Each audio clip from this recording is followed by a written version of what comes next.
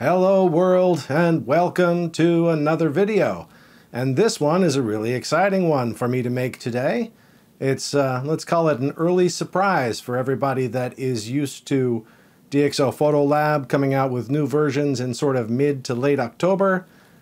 This video I'm preparing for release day, which is going to be near the end of September. So, surprise!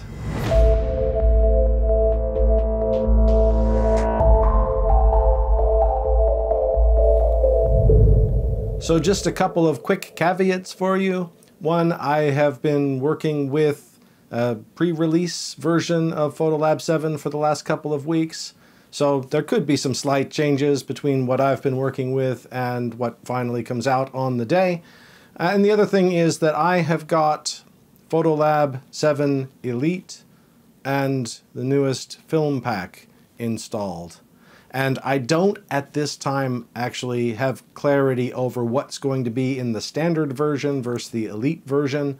So I will add a link in the description to DxO's website where you can see kind of the side-by-side -side comparison of those versions uh, and make a decision for yourself, you know, which one's most appropriate for you. So I'm planning to release a few different videos for Photolab 7. Um, this one, which is kind of an overview, it's me talking through the releases putting them from my perspective in order of how much I love them. Um, and then I'll do a few more specific ones where I show things in a little bit more detail. So you may or may not have seen my video from last year when Photolab 6 released, but if you did look at it, the title was something along the lines of how I thought that it was the best release they had ever done for Photolab since Photolab started. And I have to say, I think DxO's on fire a bit here because I find myself wanting to say the same thing about Photolab 7, and I swear I am not generally one for hyperbole.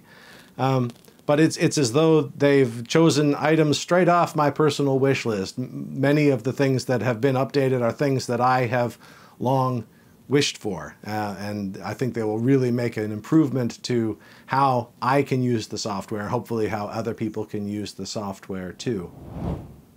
So is it perfect? No, no software is. Has it addressed everything on my wish list?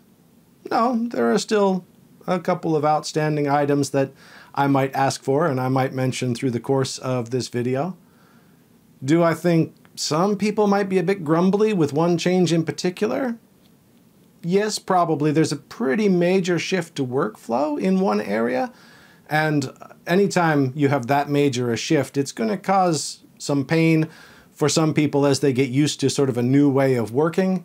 So it won't surprise me if some people are not completely happy, in the beginning at least. I think there are some pretty good benefits to that change that I'm alluding to.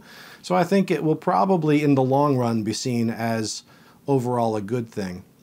So item number one is related to the fact that they've totally revamped the local adjustment space. And, and I'm not going to go into the total revamp right now because it's one aspect that I'm rating as number one. And that one aspect is the fact that they've added the HSL adjustment into the local adjustment possibilities, which is just absolutely wonderful. That HSL color wheel, you know, it's great. Uh, but there are so many occasions where I wanted to be able to just apply it to one little section uh, something that really jumps out to me is uh, there's a great trick that you can do if you need to take some of the red out of people's cheeks or nose or that sort of thing.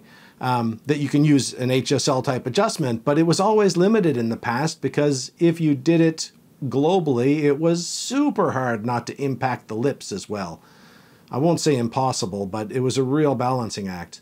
But now you can quite literally just, just select the bits of the uh, photo that you're interested in changing, and you can go ahead and make that change, which is absolutely wonderful. And I will do another video uh, more specifically on using the HSL tool in the local adjustments.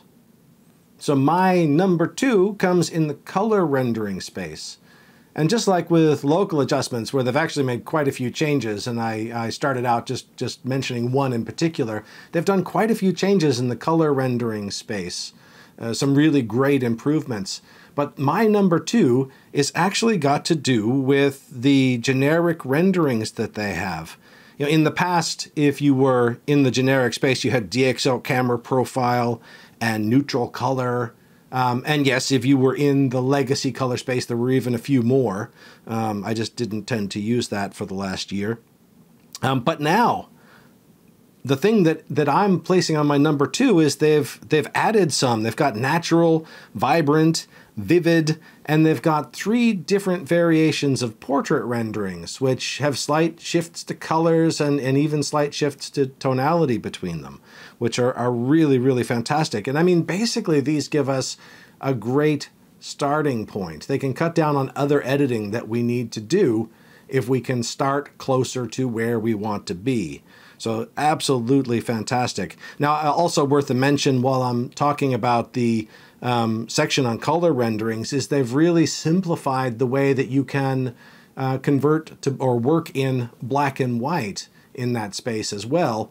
And in addition to that, they've also added some renderings, selection of renderings for black and white as well in there. So absolutely wonderful, and I think it'll save a lot of time.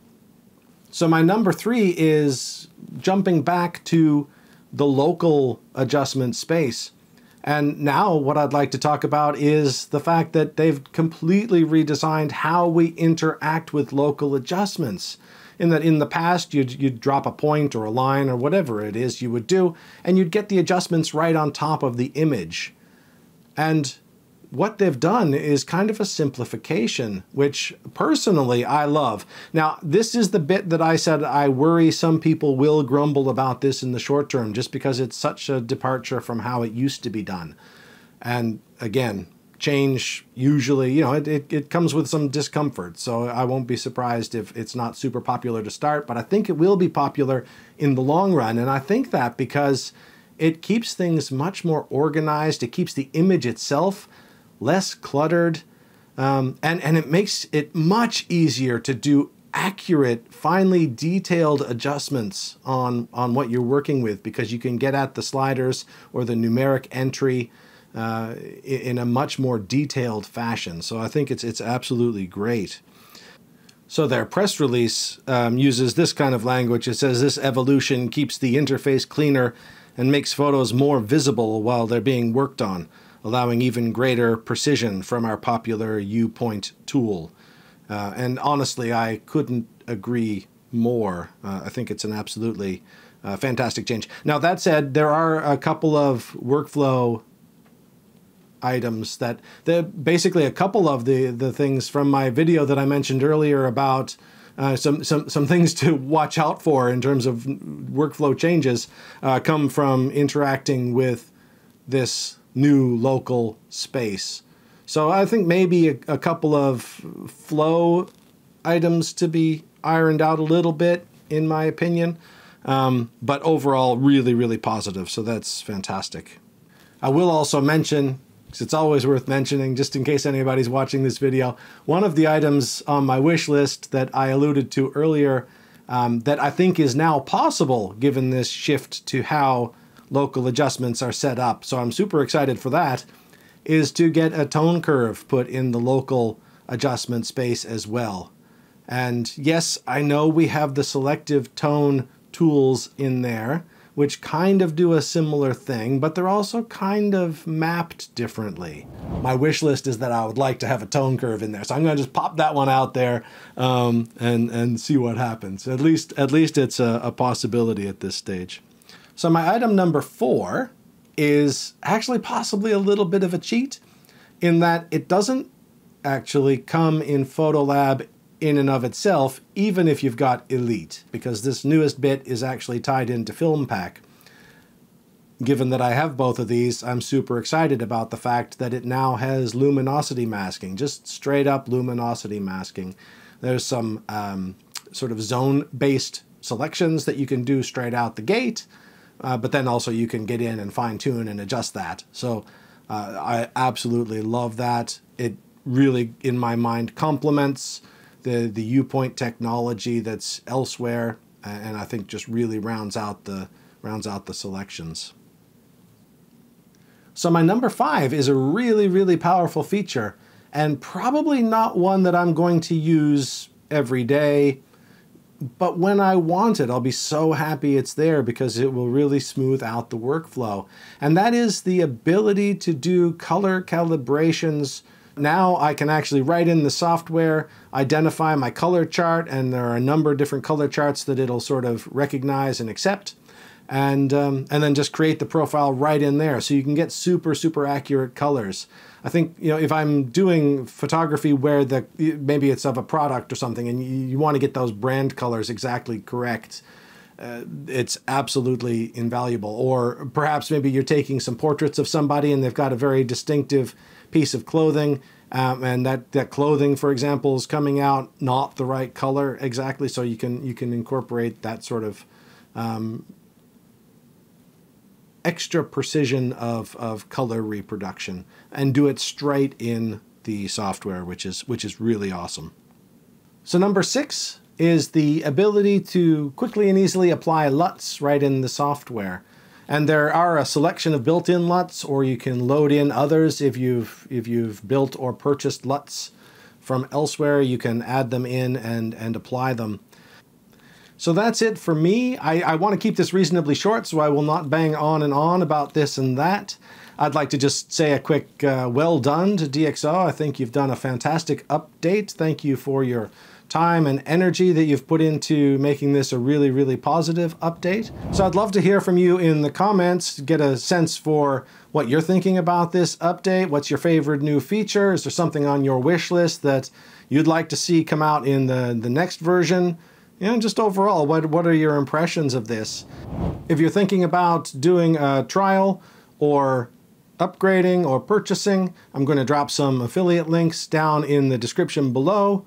Please do feel free to use those. They cost you nothing if you do happen to use them, but they can certainly help out the channel, and I promise I will not complain. so with that, I'll say thanks so much for watching, and I'll talk again soon. Bye-bye.